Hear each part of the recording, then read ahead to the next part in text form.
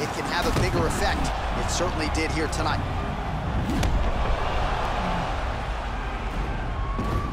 So on the sport's biggest stage, he comes up large. The baddest man on the planet, the UFC heavyweight champion of the world, your winner and by knockout here tonight.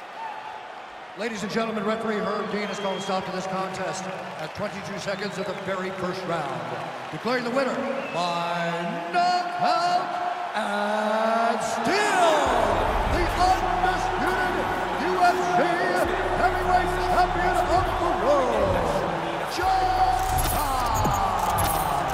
right, so heavyweight title retained is the headline inside this arena here tonight. Congratulations to the still heavyweight champ. Uh, once again, proven he's the elite among the elite of heavyweight. In a division where everything can change in a second, this guy has brought consistency to something that is so volatile. What a champion, what a fighter he remains, the heavyweight champion of the world